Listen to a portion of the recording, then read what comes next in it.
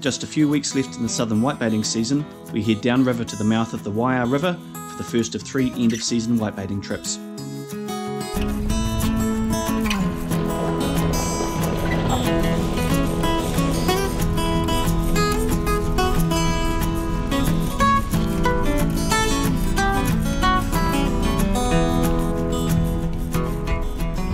That's right, we're down at the Waiau mouth. I haven't been here for probably 28 years and last time I was down here the river used to run straight out. Um, there was a lagoon on each side of it which held a lot of dead water um, and nobody really fished down the front. They were all further up um, from the lagoon with all the fish with their Southland socks. We've come down today, it's probably an hour and a half after low tide. You see the scoopers are down the front there, we're going to join them in a minute gradually as you get back up the river. What a setting it is.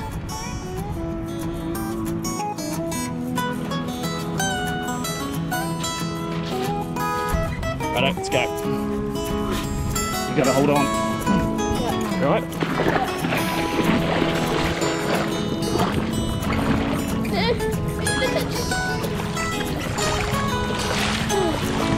Didn't touch it. oh jeez. Alright, off you get. Oh.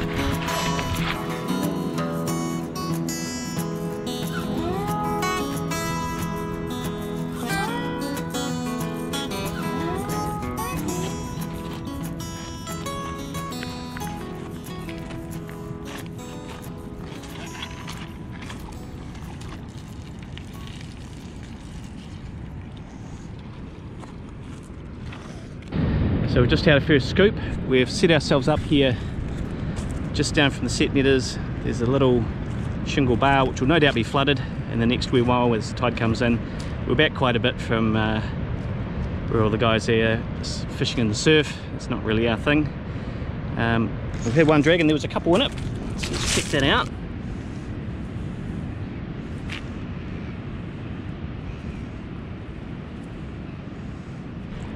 There you go, 15 or 20. Um, always a little bit suspicious on the first drag where no one else has been fishing. There could have been a few sitting there, so we'll have another go and see how we go.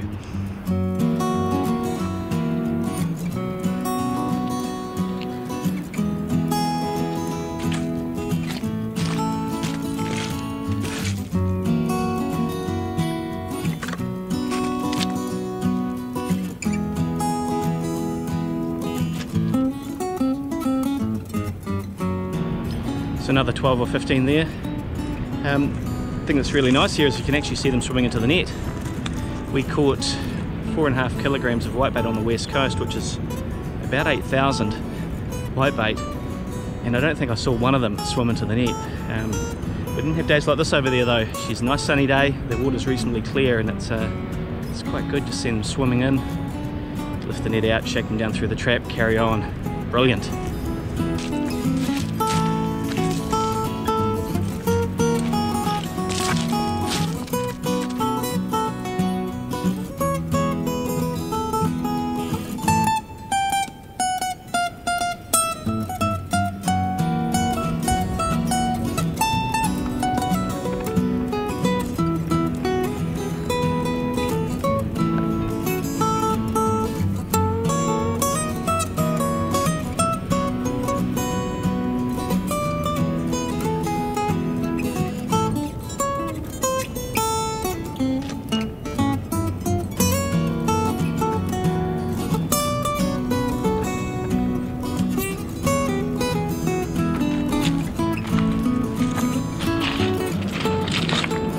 What are you building? Um, tower. A tower. Good work.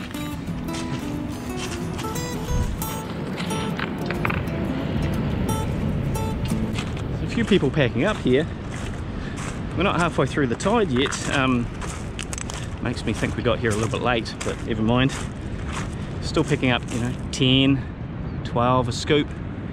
Um, certainly not setting the world on fire be a long day to make a pound unless something uh, dramatic happens with the amount of whitebait coming in but we'll see how we go. It's a beautiful day down here. It's really hot really hot. Forecast says 25 degrees today down on the coast. Hate to think what it's going to be up in now but uh, the sweat is flowing freely down here.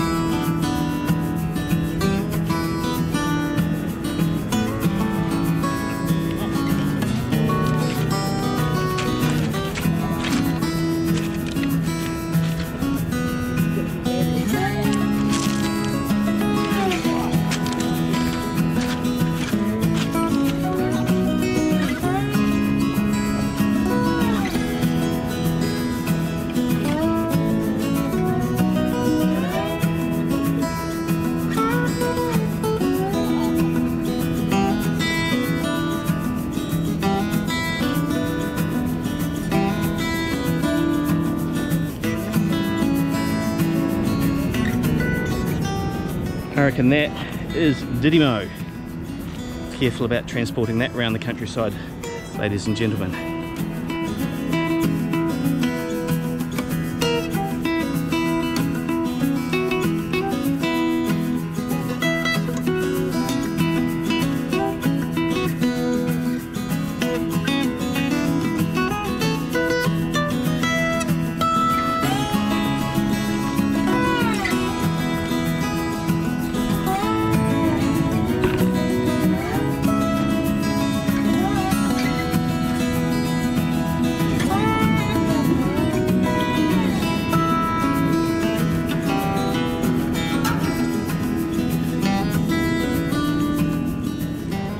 That was a good little shoal. I didn't see it go into the net, um, but I did see it start to come out. So uh, pulled the net out, gave it a shake down real quick, got them.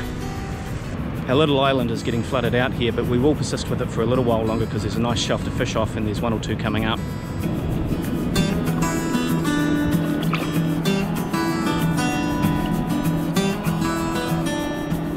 couple of real nice shoals in that one.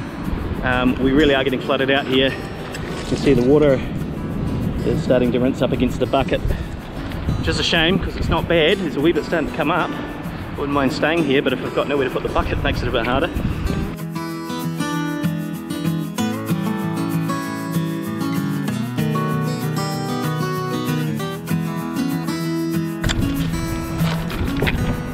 How you going, Sammy?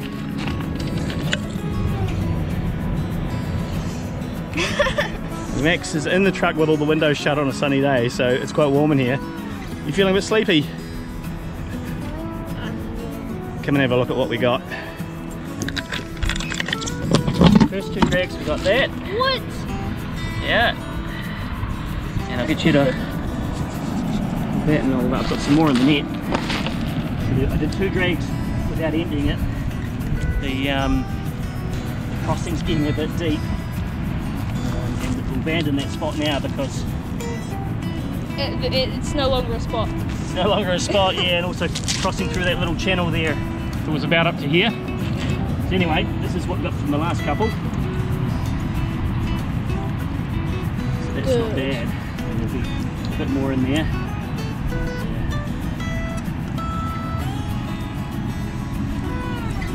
That's, that's real good. So uh, we might have a break. I've got a pie in the truck and a drink. Um, and then we've left our spot there. You can't even see it anymore. It's completely underwater. Maybe see a few rocks here. I think Max's little tower is completely underwater as well.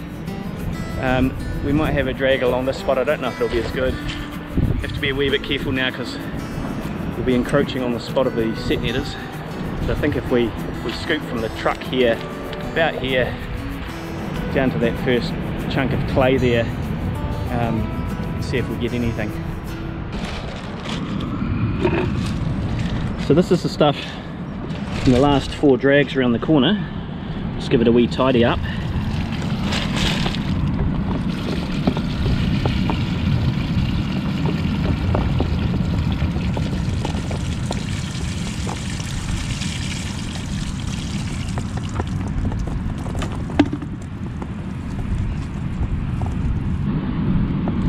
Not bad. Um, there's the odd stick and stone in it, but it's reasonably clean. So I grabbed the earlier stuff as well, which is in a, a bit more of a mess. And obviously not so much of it.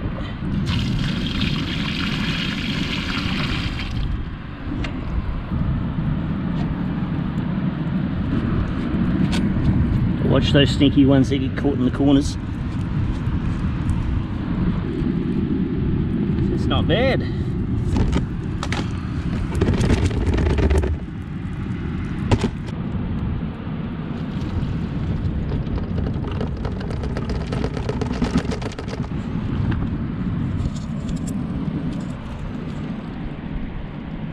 I bought this little container from the supermarket on the way down, which I thought would be good. Um, stick the white bait in it. It's got little drains there, so we can double drain it. And it will just keep the white bait off the ice. We've got some ice in a chilly bin. Yeah, that fits nice.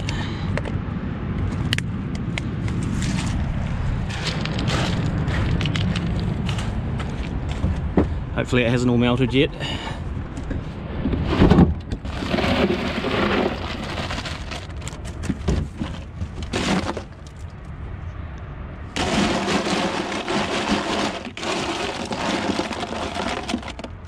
So that should keep it happy until we get home.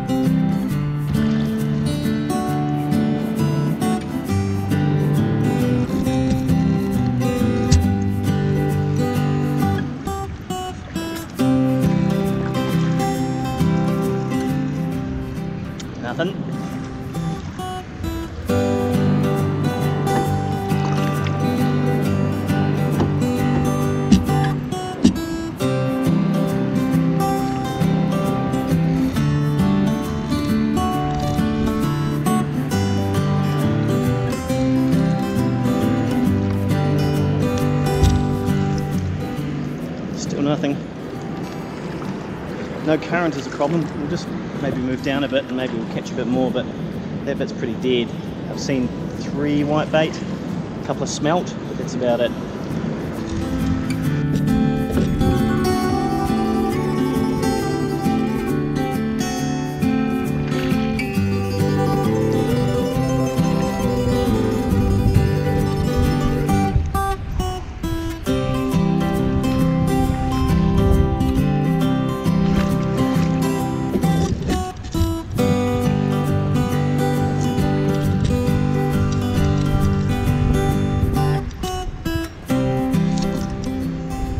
That's the spot, a little bit of current, nice drop off. I think the whitebait are coming up the river mouth and they like a bit of deep, just to rest in. And it's right on the edge of it.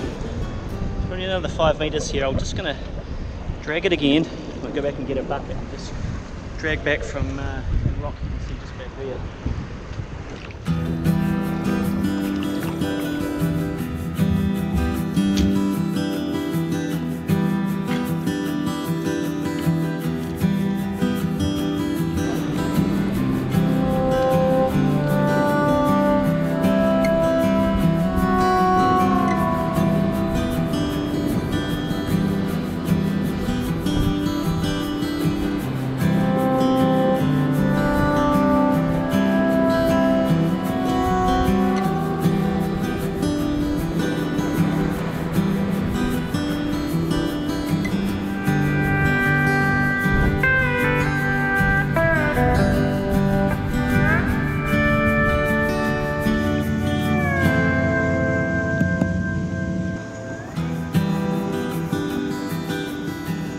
So we got all the smelt out of them, and there were heaps.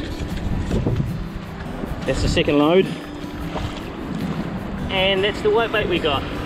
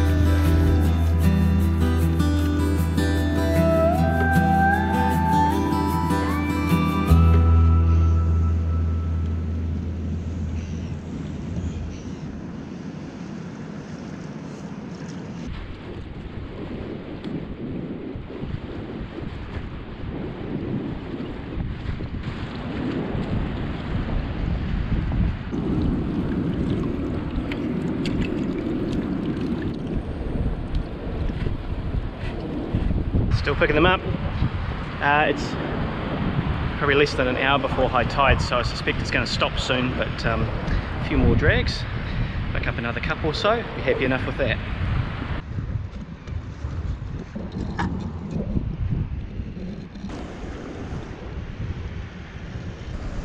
Just a couple, three or four, a couple of uh, smelt.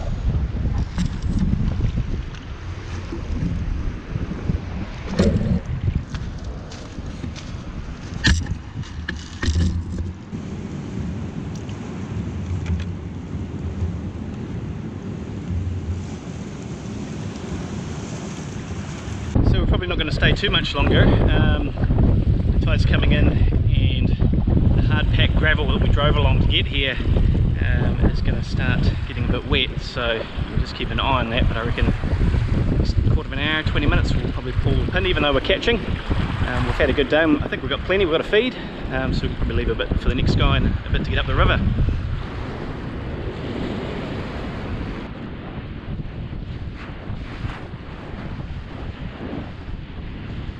So that's it, I'm calling it. Um, we did two drags in a row without emptying. Um, I haven't looked at what's in the net, but it's not much. Um, the tides come up a bit more, this little shelf you can see here, um, just where the brown turns into a more watercolour. That's quite deep now, so it's not fishing that well. Um, so we'll call it a day. We've done quite well. Um, but one thing I'd probably like to point out here is the setup here is absolutely fantastic from a white whitebaiting perspective. A little bit surprised there's not more people fishing where I was. Um, I guess if they're catching them out in the surf there, uh, good luck to them. But um, you'll be able to see there, it comes into the mouth and it's basically pushing right over to the side directly. There's a real shallow piece out in front of us where we were whitebaiting earlier. Um, that's taking a lot of the energy out of the waves, so this shore here is not getting pounded. Um, there's a bit coming up here now that the tide's a bit high, but before it was great.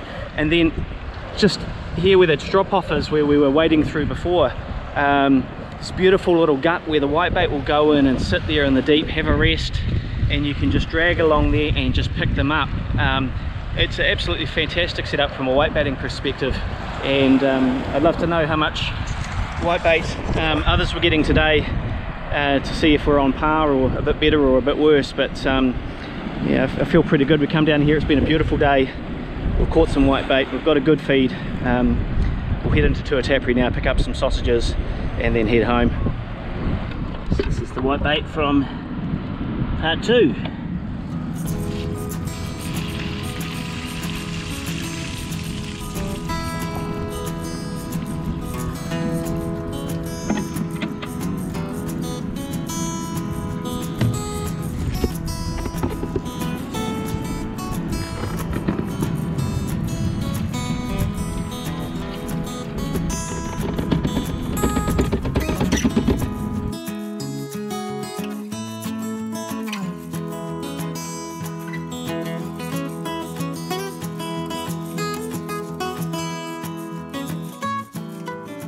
Cleaning and bagging, it weighed out at exactly one kilogram.